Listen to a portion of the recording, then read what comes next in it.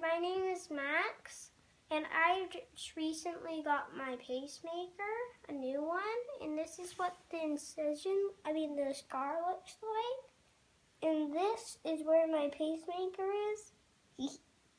and first you go to the hospital to get it, and then you go out, then you put on clothes. You put on these special pajamas, pajama pajamas. Then you go into, then this part may seem a little bit scary, but it's actually completely fine. You're in the bed and then they just roll you into an elevator and you see all types of people. And then you go into the operating room, which looks a little bit scary. But the reason why it looks scary is because there's a bunch of machines in there. But it's okay because, yeah, and you lay on the mat, which is nice and warm.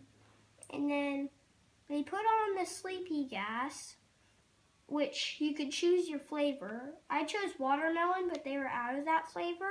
So the gas man gave The me his favorite, anesthesiologist. his favorite, which was the tropical punch.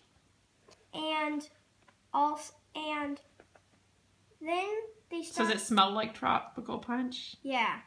Then you can count in your head. For me, everything started spinning, but I didn't get um, dizzy at all. hmm And then it just stopped. And then you just black out. And since mine was for two seconds, I mean two hours, it felt like four seconds. Like every second was 30 minutes. hmm And then when you wake up, it's all done and you're in a different room. And then you go out of the hospital and you feel happy. How did you feel when you woke up? Happy and a little bit more rested than normal.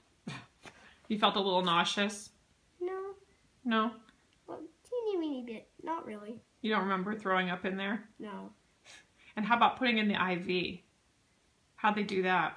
When I was asleep, the they just you could ask to put on numbing cream, hmm or I did mine when they did mine when I was asleep. So you didn't even feel it?